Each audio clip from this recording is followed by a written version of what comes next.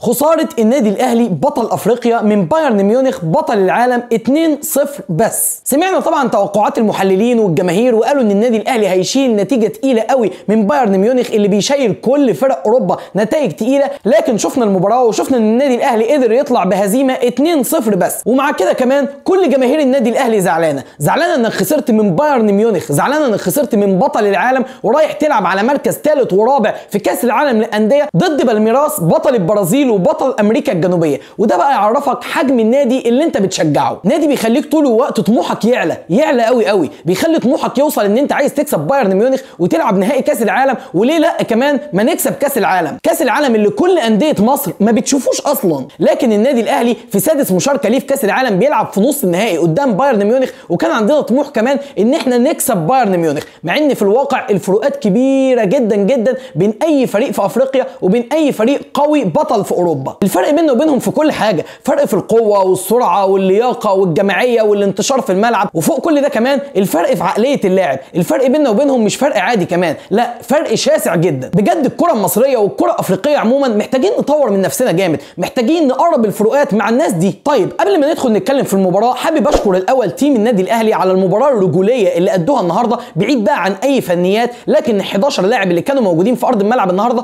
مفيش حد بخل بنقطة عرق واحدة. كلهم كانوا رجالة فعلا في أرض الملعب يستاهلوا التحية مننا. كمان قبل ما نبدأ في الكلام عن المباراة حابب أبدأ بلقطات عظيمة جدا من ملعب المباراة النهارده. لقطات كده تخليك تفرح وتخليك تعرف حجم النادي الأهلي. نبص على أول لقطة ونشوف توماس مولر وهو ماسك تيشيرت كهربا وبيتصور بيه وبينزل الصورة كمان على حسابه الشخصي. توماس مولر ده واحد من نجوم العالم مع إن الطبيعي العكس إن كل لعيبة النادي الأهلي هي اللي تكون عايزة تيشيرتات بايرن ميونخ. كمان شفنا ألفونسو ديفيز وهو رايح ياخد تيشيرت محمد هاني والصورة بتوضح مين اللي رايح لمين. وكمان شفنا محمد الشناوي أفضل حارس في قارة أفريقيا وهو بيتصور مع مانويل نوير أفضل حارس في العالم. وفوق ده كله بقى شفنا كمان النجم محمد أبو تريكة وهو قاعد في وسط جماهير الثالثه في وسط جماهير النادي الأهلي بيشجع لعيبة النادي الأهلي. وشفنا كمان بعد المباراة ولعيبة النادي الأهلي متوجهة له عشان تسلم عليه. نخش بقى مع بعض كده في المباراة. بدأ النادي الأهلي النهارده بتشكيلة 4 2 3 1 في مفاجأة كبيرة من موسيماني. كل الناس كانت متوقعة إن النادي الأهلي لازم هيلعب متحفظ دفاعي شوية هيلعب بثلاثه ديفندرات في نص الملعب أو هيلعب بخماسي مثلا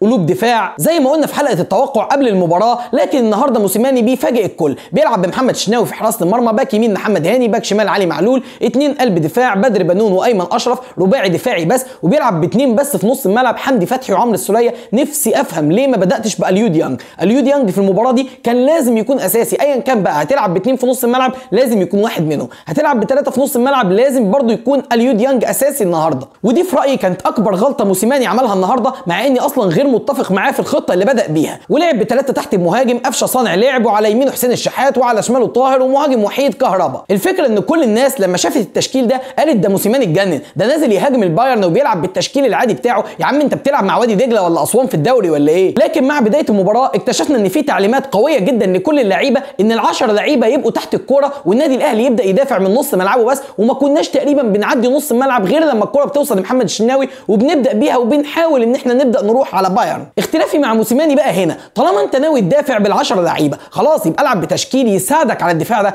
العب بثلاثي في نص الملعب ونزل أليو ديانج ثالث نص الملعب. لكن انت لعبت في نص الملعب بمجدي قفشة اللي هو لاعب ما بيعرفش يدافع قوي. وكانت التعليمات الموجهة ليه؟ إن هو 90% انت بتلعب دفاع. طب ما نزل بقى لعيب أفضل منه حافظ الواجبات الدفاعية بشكل أكبر. فدي كانت غلطة كبيرة من موسيماني في وجهة نظري في بداية المباراة. والبايرن بدأ قدامنا ب 4 2 3 1 برضه في حراسة المرمى نوير باك يمين بافارد باك شمال ديفيز واثنين قلب دفاع ألابا وبواتينج واثنين في نص الملعب روكا وكيميتش قدامهم ثلاثة مولر وجنابري وكومان ومهاجم وحيد ليفاندوفسكي. بايرن ميونخ بادئ بالتشكيل الأساسي بالقوة الضاربة بتاعته وبيبتدي الشوط الأول والنادي الأهلي بيقابل من نص ملعبه بس ما بيحاولش إن هو يمسك الكرة خالص بنلعب من نص ملعبنا بس ما بنعديش خط نص الملعب كده في تعليمات واضحة من بيتسو موسيماني. ما عنديش مشكلة إن النادي الأهلي يبدأ كده في أول 10 دقائق ربع ساعة في أول 20 دقيقة عشان مثلا ما نستقبلش جول. لكن معلش أنت بتلعب الفريق كله تحت نص الملعب والكرة مع بايرن عشان تحاول المساحات عليهم وتحاول إن أنت تصعب عليهم إن هو يسجل هدف فيك. لكن عايز أفهم النادي الأهلي لما كان بياخد الكورة حالة خوف كبيرة جدا كانت عند كل لعيبة النادي الأهلي وعدم ثقة في النفس كده إن أنت الكره بتبقى في رجليك بتحس إن أنت لعيبة النادي الأهلي بتديها البايرن تعالوا هجموا علينا. وشفنا ده في أكتر من كورة. الكورة كانت بتبقى ضربة مرمى لمحمد الشناوي بيشوط الكورة لفريق بايرن ميونخ عشان يجوا يعملوا هجمة علينا. وأي كورة رمي التماس للنادي الأهلي تعرف إن الكورة على طول مع بايرن ميونخ. حرفيا النادي الأهلي في أول نص ساعة من المباراة ما كانش قادر يعمل باصتين ثلاثة ورا بعض. وفي الدقيقة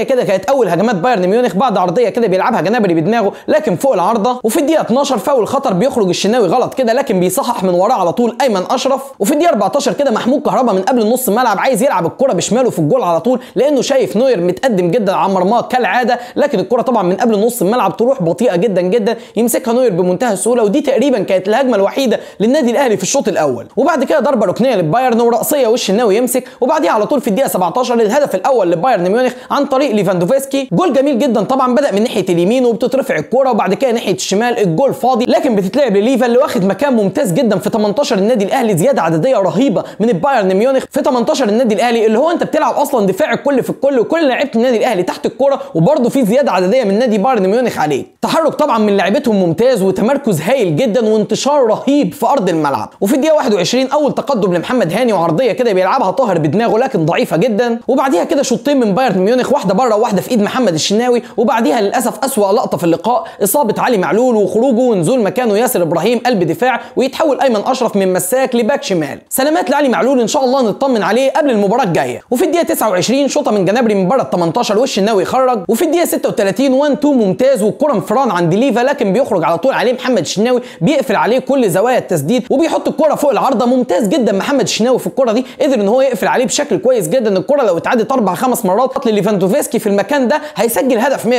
وفي الدقيقه 40 بعد مجموعة باصات كده شوطة من ديفيز لكن بره الجول وبعديها بينتهي الشوط الأول بتقدم بايرن ميونخ 1-0 على النادي الأهلي. نتيجة كويسة جدا بالنسبة للنادي الأهلي طبعا لكن أداء سلبي جدا هجوميا وأداء رجولي جدا دفاعيا. وبيبدأ الشوط الثاني مفيش أي تغييرات من النادي الأهلي بس النادي الأهلي بادئ الشوط الثاني أحسن بكتير. يا دوبك كده بدأنا نمشي كام باص على الأرض. اللعيبة بدأت كده تقف على رجليها والرهبه تتكسر شوية. وفي الدقيقة 50 كده لقطة مميزة حسين الشحات بيرقص لاعبين من البايرن وبيحاول يعدل الكرة على شماله وبيحاول يشوط لكن الكرة بتخبط. وفي الدقيقة 56 ركنية بتترفع ومولر بيلعب كرة بدماغه لكن في إيد الشناوي. وبعديها للأسف النادي الأهلي آه وقف على رجليه وبدأ يعمل كام باصة لكن في برضه miss pass رهيب من لعيبة النادي الأهلي وفقدان كوره بشكل مبالغ فيه في كور سهلة جدا. يعني أنا معاك إن الكوره ممكن تتقطع منك لو في ضغط رهيب من بايرن ميونخ عليك لكن في كرات كان بتبقى الكوره سهلة جدا. أنت لوحدك خالص مش قادر توقف الكورة وبتخرج out أنت لوحدك خالص وبتلعب الكورة طويلة فبتخسر الكورة بمنتهى السهولة لبايرن ميونخ عشان يجي يهجم عليك ويزيد الضغط والعبء على دفاعك وفي الدقيقة 70 ثلاث تغييرات كده من النادي الأهلي من موسيماني أخيرا بينزل صلاح محسن مكان الشحات وبينزل بواليا مكان كهربا وبينزل اليو ديانج مكان مجدي قفشة. وبعديها في الدقيقة 70 رفعة كده ورأسية لكن في إيد محمد الشناوي. وهجمات البايرن قلت جدا بشكل ملحوظ في الشوط الثاني لأن النادي الأهلي بدأ يدوس على الكرة شوية. لكن للأسف بندوس على الكرة لكن برضه مش قادرين نشكل أي خطورة على مرمى بايرن ميونخ ومش قادرين إن إحنا كده ناخد الجول أو نبدا نحاول نهاجمه. طيب يا عم مش قادر تهاجم. طب شوطه من بره ال 18 يعني اللعيبة لما كانت بتقرب كده وبيحاول إن هو يكسر حاول تشوط واحدة من بره ال 18 واحدة حتى تدي الثقة لعيبتك. بلاش لما بتروح على الجنب مثلا حاول تعمل عرضية تخبط الكرة في لعيب البايرن تاخد ضربة ركنية. الكرات الثابتة كانت مهمة جدا ما قدرناش ناخد ولا ضربة ركنية واحدة ولا فاول خطير من على حدود ال 18 وفي آخر المباراة بدأ بايرن ميونخ يحس إن النادي الأهلي ما بيهاجمش خالص فبدأ إن هو يهدي اللعب كده ويلعب بأقل مجهود وينقلوا باصات كتير في دفاعهم لكن برضه النادي الأهلي ما كانش بيضغط وده اللي كان مستفزني جدا في نهاية المباراة. يعني أنت خلاص الدقيقة دلوقتي 80 و1-0 بس للبايرن والماتش فاضل فيه 10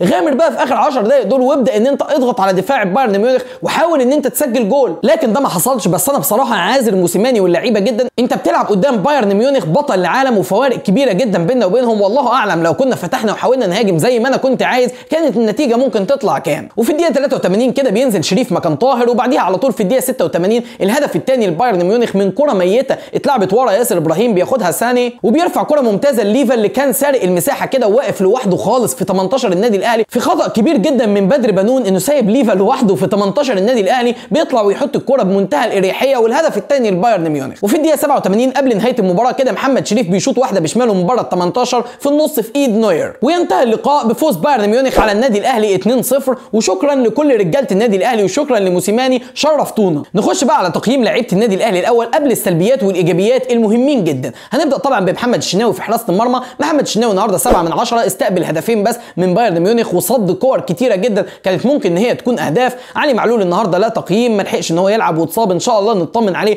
قبل المباراة المهمة جدا الجاية اللي هتحدد الثالث والرابع. محمد هاني النهارده نجم من نجوم المباراة. 9 من 10 عمل مباراة كبيرة جدا. محمد هاني أكتر واحد كنت خايف منه قبل المباراة وأكتر واحد جماهير النادي الأهلي عموما مش أنا بس كانوا خايفين منه وبيقولوا إن لعيبة تقيلة جدا هتلعب عليه. وإن محمد هاني هيكون نقطة ضعف للنادي الأهلي النهارده لكن عكس المتوقع محمد هاني بيكون نجم المباراة النهارده. 9 من 10 النهارده محمد هاني. والاثنين ال third back ات اللي عندنا النهارده أيمن أشرف واحد من نجوم المباراة لعب في مكانين كمان النهارده لعب مساك لحد ما علي معلول خرج وبعد كده لعب باك شمال. أيمن أشرف النهارده 8 من 10 مثال للعيب الراجل. لما تيجي تقول للعيب كده عايزك تبقى لاعب راجل تقول له عايزك تبقى زي أيمن أشرف. بدر بنون النهارده 6 من 10 كان ممتاز جدا بدر بنون طول المباراة لكن غلط غلطة كبيرة جدا في الجول الثاني. حمدي فتحي النهارده كالعادة راجل جدا حمدي فتحي 7 من 10 وجنبيه عمرو السولية النهارده 6 من 10 دفاع النادي الأهلي عموما النهارده كانوا متألقين. لكن لما تيجي تبص بقى على الشق الهجومي الثلاثه اللي تحت المهاجم كده والمهاجم النهارده. ممكن نقول كلهم كده خمسات لأن هم كانوا بيلعبوا برجولة لكن ما شفناش النهارده هجوم النادي الأهلي قادر يشكل خطورة خالص على مرمى بايرن ميونخ. لما تيجي تبص بقى للبودرة النهارده ياسر إبراهيم نزل في الشوط الأول وعلى عكس المتوقع بالنسبة لي دايما بشوف إن ياسر إبراهيم عنده مشاكل كتيرة جدا في الدفاع محتاج إن هو يطورها.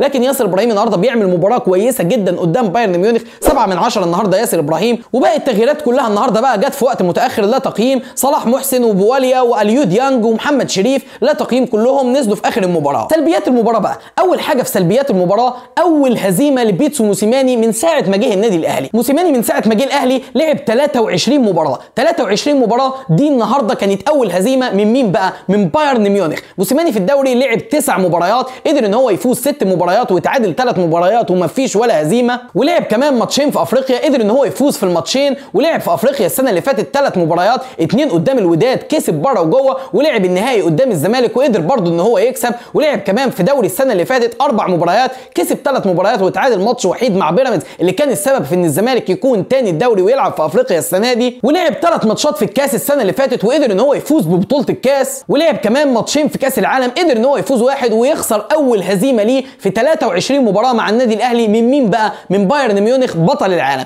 يعني من الآخر عشان تغلبوا الراجل ده هاتوا بطل العالم عشان يغلبه فأكيد طبعا لازم نقول شابوه لموسيماني مهما كان اختلافاتي معاه واختلافاتك معاه كله طبعا شايف إن هو عنده مثلا مشاكل وشايف إن أنت عندك تعديلات على فكره لكن الراجل قادر إن هو يمشي كويس جدا مع النادي الأهلي ويعمل نتائج هايلة. أما تاني حاجة في السلبيات بقى الخوف المبالغ فيه من لعيبة النادي الأهلي. أنا عارف إنك بتلاعب بطل العالم عارف إن الفوارق كبيرة جدا بينك وبينهم لكن الخوف المبالغ فيه ده أنا كنت ممكن أقبله مثلا أول 10 دقائق في الماتش أول ربع ساعة في الماتش لكن بعد كده تبدأ تاخد الثقة خلاص وتبدأ إن أنت تدوس على كورتك وتبدأ تلعب كورتك العادية. أنا أعرف إن الفوارق دي تبان بشكل كبير جدا لما تكون الكورة في رجل لعيبة بايرن ميونخ. الفوارق طبعا تبان بيشوطوا من بره مثلا شوطات قوية جدا قادرين إن هم يلاقوا بعض والانتشار والباصات السريعة وقادرين إن هم يرقصوا ويخترقوك. لكن لما تكون الكوره بقى في رجل لعيبة النادي الأهلي قوه بايرن ميونخ إيه؟ إن هو بيضغط بشكل كبير جدا إن هو لياقته عالية جدا ما عنديش أي مشكلة. ياما لعبنا فرق بتضغط علينا بقوة. فين بقى شخصية النادي الأهلي إن أنا أقدر أنقل كورة؟ اللعيبة بس تباصي صح التسليم والاستلام بس اللي هي من أهم أصلا مميزات النادي الأهلي. ده كنا نقدر نعمله بسهولة جدا حتى لو بنلاعب بايرن ميونخ. لكن للأسف ده ما شفتوش النهارده خصوصا في الشوط الأول النادي الأهلي لعيبته كانت خايفة جدا. ودي للأسف مشكلة نفسية عند لعيبة النادي الأهلي أكتر لأن هم شايفين طبعا إن إحنا بنلاعب أقوى فريق في العالم. ثالث حاجة في السلبيات الصفرية الهجومية النهارده. في فرق كبير جدا بين إنك تكون سلبي هجوميا أو إنك تكون ضعيف هجوميا أو إن أنت تكون زي النادي الأهلي النهارده كده صفري هجوميا. إحنا ما عملناش أي خطورة على مرمى بايرن ميونخ النهارده. ما عنديش أي مشكلة إن أنت تقفل أغلب المباراة لأنك طبعا لو فتحت ممكن تشيل سكورات عالية جدا. وشفنا فرق كتير جدا اتعمل فيها إيه من بايرن ميونخ لما حاولت إن هي تهاجمه. ما عنديش أي مشكلة في ده. لكن أنت قدرت توصل لحد الدقيقة مثلا 80 و85 كمان وانت مغلوب 1-0 بس. طب غامر بقى يا أخي في آخر 10 دقائق في المباراة. خلاص مش فارقة. اهجم بقى بكل خطوطك وحاول إن أنت تهاجم. هيحصل إيه يعني؟ هيجي فيك جول. جولين أقصى حاجة. مفيش مشكلة. طب ما أنت استقبلت جول وأنت برضه بتدافع وخسرنا 2-0 كان هيحصل إيه بقى لو إحنا غامرنا في آخر المباراة وحاولنا إن إحنا نهاجم آخر 10 دقائق كده؟ يمكن لعل وعسى إنك كنت تخطف جول وتدخل مع بايرن ميونخ ضربات جزاء. تخيل لو حصل. واللي بقوله ده طبعا من وجهة نظري. يعني ده افتراض وعارف إن تطبيقه على أرض الملعب كان صعب جدا. ورابع حاجة في السلبيات مباراة صعبة جدا زي دي ومش قادر إن أنت تهاجم مرمى بايرن ميونخ خالص. يا جدع حاول تاخد corner حاول تاخد فاول من على حدود ال 18 لكن تخرج من المباراة 90 دقيقة صفر corner رقم سلبي بالنسبة للنادي الأهلي. أما الإيجابيات بقى أول حاجة في الإيجابيات النهارده طبعا محمد شناوي وقلبين دفاع النادي الأهلي أيمن أشرف وبدر بنون الله أكبر عليهم وكمان ياسر إبراهيم لما خد شوية في المباراة نزل وأدى أداء عالي جدا. دفاع النادي الأهلي وحراسة المرمى ممتازين جدا يطمنوك فعلا على النادي الأهلي. تاني حاجة النهارده في الإيجابيات محمد هاني محمد هاني بعد النقد الرهيب اللي كان بيتعرض له من كل جماهير النادي الأهلي وكانوا شايفين ان هو مستواه قليل جدا في الفترة اللي فاتت. النهارده بيعمل مباراة كبيرة جدا قدام مين؟ قدام بايرن ميونخ وبياخد ثقة تاني كده في نفسه وبياخد دعم كبير جدا من جماهير النادي الأهلي. مستنيين منك كتير جدا يا ابني الفترة الجاية وخصوصا المباراة الجاية قدام بالميراس